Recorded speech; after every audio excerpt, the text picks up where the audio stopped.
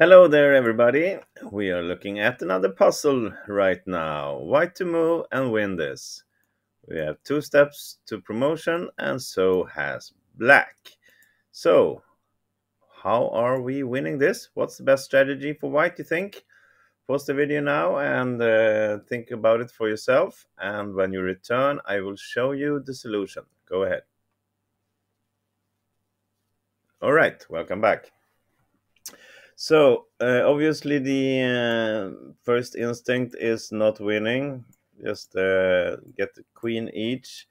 Because after this, it's not really. We don't have anything to to win by white. We can start checking for sure. We can force a queen exchange if we want to, but obviously, we don't have enough mating material after that and there's really nothing from here.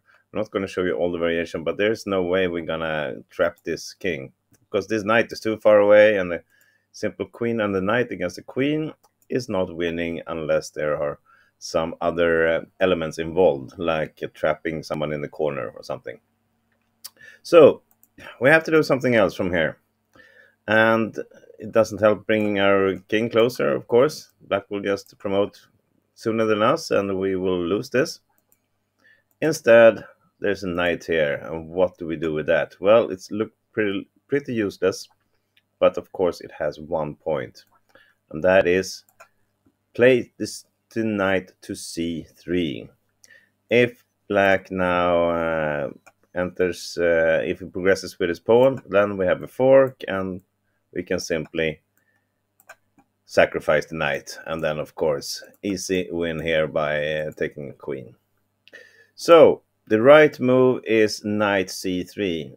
It also, not only by stopping the pawn, also gives us the chance that if black takes, which he has to do, uh, we will then promote with a check. Just let me go back and say why we have he has to take it because he cannot move his pawn. And if he tries something like this, uh, well, then we can play the knight to e4 and block here. And if black tries to move his king to stop this, then we can simply go down to d1 and block like that. And of course, he can attack our knight, but we can simply sacrifice it like this. And he loses pawn. Okay, that was a quick side uh, line. So black is forced to take here. We go on. Uh, as I said, we want to get a queen with a check. Black will push his pawn, do whatever he can. And we will get a queen and a check. But it's not easy win just because of that. See, this pawn is on the F uh, line. And if the king managed to go all the way down here, he will protect the pawn or be able to put the king in the corner and uh, sacrifice his uh, pawn for a stalemate. This is a typical uh, theory uh, and game uh, position.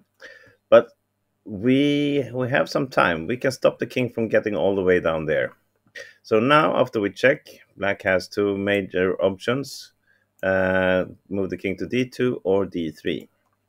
Let's start with king to d2. From here, there's only one move that wins this for white. Can you find it? Pause the video again if you need. Okay, here it goes. Just starting to check doesn't give us anything. The king will come to e2 or e1, and as I said, we cannot stop this pawn. Instead, after he plays king d2, we have a very nice move here in queen h2, pinning this pawn. And of course, black wants to get out of that pin and also threat to take a new queen.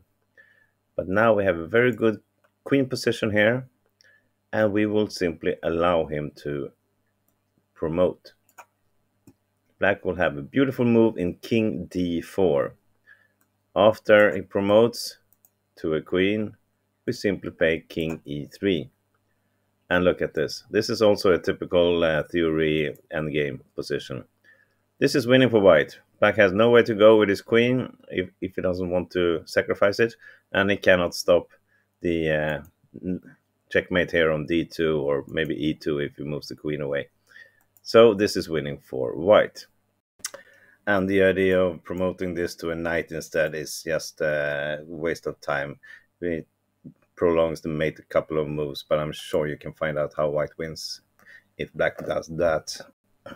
Uh, okay, so let's go back to uh, the other possible defense here. King to d3. Actually, there's only one move for white winning this.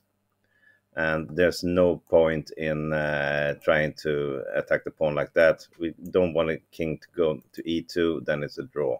So the winning move for white here is queen to b2. It's a very, very smart move. It attacks the pawn, and at the same time, it stops the promotion because we have the queen b5 check available if that happens. So black needs to move uh, his king to e3, of course, since all these uh, squares are blocked also. So after queen e3, after mean after king e3, I mean there is again only one move uh, available for white to win this. I think you see it. Yeah, we go to b5 anyway. And now we are protecting this pawn and the f1 square. And whatever black does from here, we will just put our queen on f1 and then it's pretty simple win with the queen and the king of course the pawn will never promote. Instead we will just chase him away with our king. We got plenty of time for that. Well that was the full study. I hope you enjoyed this video. Thank you again for watching. Give me a thumbs up please and come back to my channel at any time. Bye bye